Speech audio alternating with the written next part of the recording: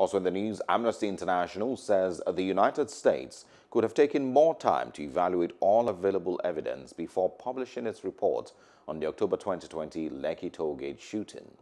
The U.S. government, in its 45th annual human rights report, said accurate information on the fatalities from the shooting re remain fuzzy, noting that apart from Amnesty International, which reported 10 persons died during the event, no other organization was able to verify the claim.